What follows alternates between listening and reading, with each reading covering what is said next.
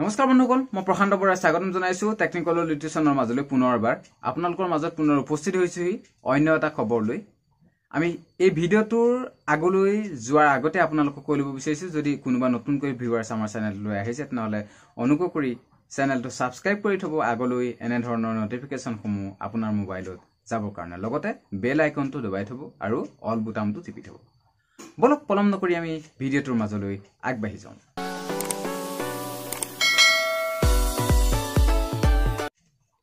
কৈ ল'ব বিচাৰিছোঁ যে ভেঞ্চাৰ শিক্ষানুষ্ঠানসমূহৰ বহুতো পদ পাৰিশীকৰণ হৈ গ'ল দুহেজাৰ একৈছ বৰ্ষত। আৰু এই দুহেজাৰ একৈছ বৰ্ষত যদিও বহুতো পদৰ প্ৰাদেশিকৰণ হ'ল তথাপিতো কিন্তু কিছুমান পদৰ প্ৰাদেশিকৰণ নহ'ল। বিশেষকৈ ক'ব বিচাৰিছোঁ যে এম ই বিদ্যালয় আৰু এম ই এম বিদ্যালয়সমূহৰ তিনিটাই পোষ্ট লোৱা হ'ল। বাকী যিবোৰ পোষ্ট সেই পোষ্টসমূহ লোৱা নহ'ল। কিন্তু এইকণতে কৈ ল'ব লাগিব যে যিবিলাক বিদ্যালয়ৰ এম ই বিদ্যালয় বা এম ই এম বিদ্যালয়ৰ এনৰলমেণ্ট ভাল আছিল যথেষ্ট এনৰলমেণ্ট আছিল সেইবিলাক বিদ্যালয়ত কিন্তু চাৰিটা আৰু পাঁচটাকৈ পোষ্ট লোৱা হৈছে। তেনেকুৱা উদাহৰণ আছে। কিন্তু এতিয়া কথাটো হ'ল যিবিলাক বিদ্যালয়ৰ এনৰলমেণ্ট কম আছিলে সেই বিদ্যালয়সমূহৰ কিন্তু সকলোবোৰ পোষ্ট লোৱা নহ'ল। তাত তিনিটাই পোষ্ট লোৱা হৈছিলে। মেথছ আৰু ছায়েন্সৰ পোষ্ট লগতে ছ'চিয়েল ষ্টাডিজ পোষ্ট আৰু লেংগুৱেজ টিচাৰ পোষ্ট এই তিনিটা পোষ্টে লোৱা হৈছিলে। কিন্তু সেই একেখন ভেঞ্চাৰ শিক্ষানুষ্ঠানৰে কিন্তু কিছুমান পোষ্ট বিশেষকৈ যিবিলাক non teaching post M E M বিদ্যালয় আৰু এম ই বিদ্যালয় আৰু লগতে হাইস্কুলৰ আৰু যিবিলাক higher education department higher education department high school M E M লগতে তেনেধৰণৰ যি এম ই বিদ্যালয় এই সকলোবোৰ বিদ্যালয়ৰ কিন্তু কিছুমান পোষ্ট লোৱা নহ'ল বিশেষকৈ যিবিলাক ফ'ৰ্থ গ্ৰেড পোষ্টসমূহ সেই ফ'ৰ্থ গ্ৰেড পোষ্টসমূহ কিয় লোৱা নহ'ল? তাৰ কিছুমান আমি কাৰণ সেই কাৰণসমূহ আপোনালোকৰ আগত দাঙি ধৰিব বিচাৰিছোঁ। তাৰ নোহোৱাৰ কাৰণসমূহ কি কি? বিভিন্ন কাৰণত ৰৈ গৈছে। বিভিন্ন কাৰণৰ ভিতৰত প্ৰথম কাৰণটো আমি যদি চাওঁ তাত যিটো তেওঁলোকৰ জইনিং আৰু এপইণ্টমেণ্ট হ'ব লাগিছিলে একত্ৰিছ বাৰ দুহেজাৰ দহ চনৰ আগতে তেওঁলোকৰ জইনিং আৰু এপইণ্টমেণ্ট কিছুমান পোষ্টৰ নথকাৰ কাৰণে সেই পোষ্টসমূহ নহ'ল প্ৰভিঞ্চিয়েলাইজ নহ'ল। দুহেজাৰ একৈছ বৰ্ষত যেতিয়া প্ৰাদেশিকৰণ কৰা হৈছিল কিন্তু ফ'ৰ্থ গ্ৰেড পোষ্টসমূহৰ কিন্তু যিবিলাক এম ই এম বিদ্যালয় আৰু এম ই বিদ্যালয় সেই এম ই আৰু এম ই এম বিদ্যালয় ফ'ৰ্থ গ্ৰেড পোষ্টসমূহ কিন্তু দুহেজাৰ বাইছ চনৰ চৈধ্য ছেপ্টেম্বৰতহে তেওঁলোকৰ কাৰ্যকৰী হোৱাকৈ তেইছ তাৰিখে এপইণ্টমেণ্ট দিয়া হৈছিলে। যদিও যিবিলাক হায়াৰ এডুকেশ্যন ডিপাৰ্টমেণ্ট লগতে আৰু যিবিলাক ছিনিয়ৰ ছেকেণ্ডেৰী আৰু হায়াৰ ছেকেণ্ডেৰী আৰু হাইস্কুলৰ যিবিলাক এপইণ্টমেণ্ট আছিলে ফ'ৰ্থ গ্ৰেড পোষ্টৰ সেই ফ'ৰ্থ গ্ৰেড পোষ্টৰ কিন্তু সেই দুহেজাৰ একৈছ বৰ্ষতে হৈছিল।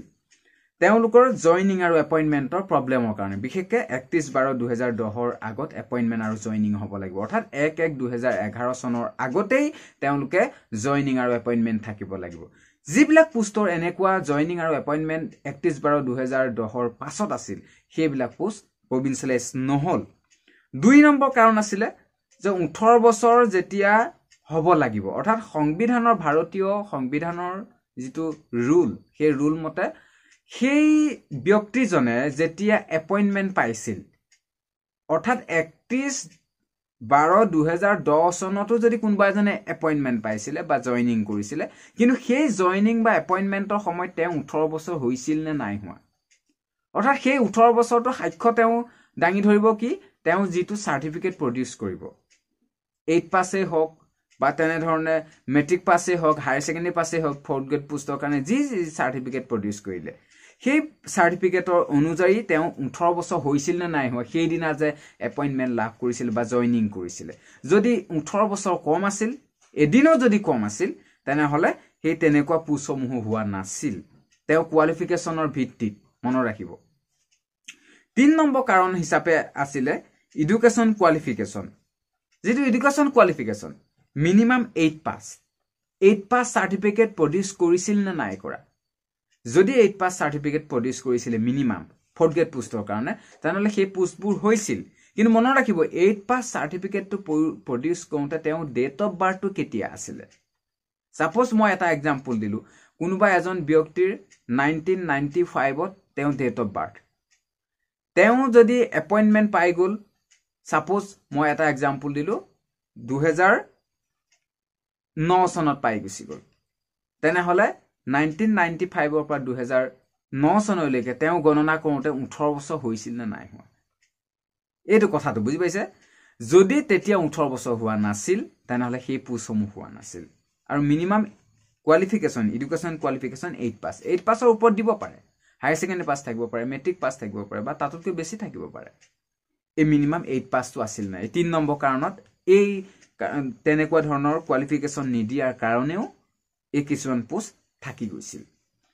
লগতে ক'ব বিচাৰিছোঁ যে এক্সপেৰিয়েঞ্চ সেই ব্যক্তিজনে যেতিয়া এপইণ্টমেণ্ট পাইছিল সেই এপইণ্টমেণ্টৰ পৰা এক এক দুহেজাৰ সোতৰলৈকে তেওঁ এক এক দুহেজাৰ সোতৰলৈকে যিটো এক্সপেৰিয়েঞ্চ থাকিব লাগে আইনখন অনুসৰি আইনখন দুহেজাৰ ওঠৰ চনত নন টিচিঙৰ কাৰণে আইনখন আনিছিলে সেই আইনখন অনুযায়ী এক এক দুহেজাৰ সোতৰ চনলৈকে তেওঁ ছবছৰ এক্সপেৰিয়েঞ্চ আছিল নে নাই। মানে মিনিমাম ছবছৰ মনত ৰাখিব। মিনিমাম ছিক্স ইয়াৰ্ছ ছিক্স ইয়াৰ্ছতকৈ এবভ হ'ব লাগিব। সাত বছৰ আঠ বছৰ এনেকৈ বিভিন্ন দহ বছৰ পঁচিছ বছৰ থাকিব পাৰে। সেইটো বেলেগ কথা। সেই তেনেধৰণৰ ছবছৰ মিনিমাম এক্সপেৰিয়েঞ্চ আছিল নে নাই? সেই মিনিমাম ছবছৰ এক্সপেৰিয়েঞ্চ নথকাৰ কাৰণেও তেনেকুৱা পোষ্টসমূহ ফ'ৰ্থ গ্ৰেড পোষ্টসমূহ বিশেষকৈ এইবাৰ পাৰিশীকৰণৰ পৰা কিছুমান বাতিল হৈ গৈছিল পাঁচ নম্বৰ কাৰণটো হ'ল তেওঁ যিটো নামটো সেই চকীদাৰ পোষ্টতে এপ্লাই কৰা যিজন ব্যক্তি সেই ব্যক্তিজনৰ নামটো প্ৰচিডিঙত নাম উল্লেখ আছিল নে নাই? যিখন প্ৰচিডিং বুক কমিটিৰ যিটো এপইণ্টমেণ্টৰ কথা লিখা থাকিব সেই প্ৰচিডিং বুকখন সেই প্ৰচিডিঙত তেওঁৰ নামটো অন্তৰ্ভুক্ত থাকিব লাগিব। যদি অন্তৰ্ভুক্ত নাছিল পাছতহে তেওঁ না সেই কোৱালিফিকেশ্যনসমূহ বা সেই প্ৰভিঞ্চিয়েলাইজৰ সময়তহে ডাটাসমূহ প্ৰডিউচ কৰা হৈছিলে তেনেকুৱা পোষ্টসমূহো এইবাৰ প্ৰভিঞ্চিয়েলাইজ নহ'ল। তেনেকুৱাও উদাহৰণ আছে তেনেকুৱা ধৰণৰ কাৰণে এই পোষ্টসমূহ হোৱা নাছিলে। ছয় নম্বৰ কাৰণটো হ'ল তেওঁ এগেইনষ্টত কিবা কেছ ৰেজিষ্টাৰ হৈ আছিল নেকি?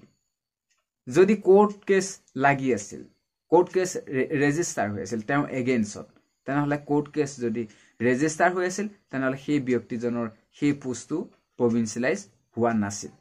এই বিভিন্ন কাৰণসমূহ এই বিভিন্ন কাৰণসমূহৰ কাৰণেই এইবাৰ বহুতো এম ই বিদ্যালয় এম ই এম বিদ্যালয় high school higher secondary senior secondary degree college অৰ্থাৎ হায়াৰ এডুকেশ্যন ডিপাৰ্টমেণ্টৰ এনেধৰণৰ ফ'ৰ্থ গ্ৰেড পোষ্টসমূহ প্ৰভিঞ্চিয়েলাইজ কিছুমান নহ'ল। কিছুমান কিন্তু হৈছে। এনেকুৱা বিভিন্ন কাৰণ আছে। লগতে হাইস্কুলৰ ক্ষেত্ৰত যদি আমি কওঁ হাইস্কুলৰ কিছুমান হাইস্কুলত এক্সট্ৰাকৈ চকীদাৰ পোষ্টক দেখুৱাই থোৱা হৈছিল। বেছিকৈ লাগে এজন কিন্তু দুজনক দেখুৱাই থোৱা হৈছিলে। সেই দুজনৰ যদি দেখুৱাইছিলে এজনহে হৈছিল।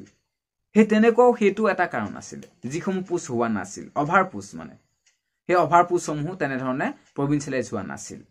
কিন্তু পৰৱৰ্তী সময়ত এওঁলোকৰ প্ৰভিঞ্চিয়েলাইজ হ'ব নে নহয় বা এওঁলোকৰ প্ৰভিঞ্চিয়েলাইজেশ্যন কি হ'ব সেইটো এতিয়াই আমি কৈ দিব নোৱাৰোঁ। পৰৱৰ্তী সময়ত অসমৰ শিক্ষা বিভাগে কি সিদ্ধান্ত গ্ৰহণ কৰে অসমৰ মাননীয় মুখ্যমন্ত্ৰী ডক্টৰ হিমন্ত বিশ্ব শৰ্মা ডাঙৰীয়াই কি সিদ্ধান্ত গ্ৰহণ কৰে সেয়া এক লক্ষণীয় বিষয় হ'ব।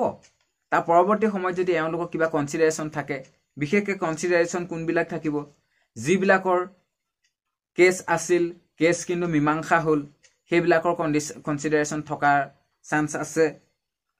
লগতে যিবিলাকৰ প্ৰচিডিঙত নাম অন্তৰ্ভুক্তিত কিবা খেলি মেলি হৈছিল সেইবিলাকৰ ক্ষেত্ৰতো যদি তেওঁলোকে সংশোধন কৰে পৰৱৰ্তী সময়ত তেওঁলোকৰ সংশোধন আহিব। আৰু এক্সপেৰিয়েঞ্চৰ ক্ষেত্ৰত ক'ব বিচাৰিছোঁ এক্সপেৰিয়েঞ্চৰ ক্ষেত্ৰত কিন্তু আইনমতে যাব।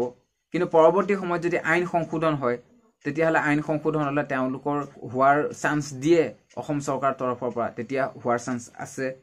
আৰু ইডুকেশ্যন কোৱালিফিকেশ্যনৰ ক্ষেত্ৰত যদি তেওঁলোকৰ কিবা বিসংগতি আছে বা প্ৰডিউচ কৰোঁতে ক'ৰবাত খেলি মেলি হৈছে। মানে তেওঁলোকৰ বিসংগতি নাই পাৰ্চনেলি হিচাপে যিসকলৰ সকলো কথা কোৱা নাই। কিছুমানৰতো পাৰ্চনেলি প্ৰব্লেম নাথাকিবও পাৰে। কিবা কাৰণে প্ৰডিউচ কৰোঁতে ক'ৰবাত প্ৰব্লেম হৈ যাব পাৰে। তেওঁলোকৰ কাৰণে হয়তো কিবা সিদ্ধান্ত অহাৰ সম্ভাৱনা আছে বা থাকিব পৰৱৰ্তী সময়ত। কিন্তু একত্ৰিছ বাৰ দুহেজাৰ দহ চনৰ আগতেই তেওঁ জইনিং বা এপইণ্টমেণ্ট থাকিব লাগিব সেই শিক্ষানুষ্ঠানখনত। তেতিয়াহে তেওঁ পোষ্টটো প্ৰাদেশিকৰণ হ'ব। লগতে তেওঁ যেতিয়া এপইণ্টমেণ্ট পাব বা জইনিং কৰিব সেই ডেটত কিন্তু ওঠৰ বছৰ হ'ব লাগিব। সেইকেইটা কাৰণত কিন্তু হয়তো এৰি নিদিব।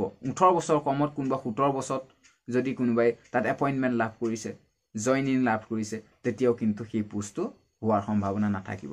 কাৰণ সেইটো মই কোৱা কথা নহয় সেইটো ভাৰতীয় সংবিধানৰ ৰুল সেইটো আপুনি উলংঘা কৰিব নোৱাৰে পাৰ্চনেলি হিচাপে। এইখিনিয়ে আছিল প্ৰাদেশিকৰণৰ পৰা বাদ পৰি যোৱা বিভিন্ন কাৰণসমূহ। ধন্যবাদ ভিডিওটা শেয়ার করবে।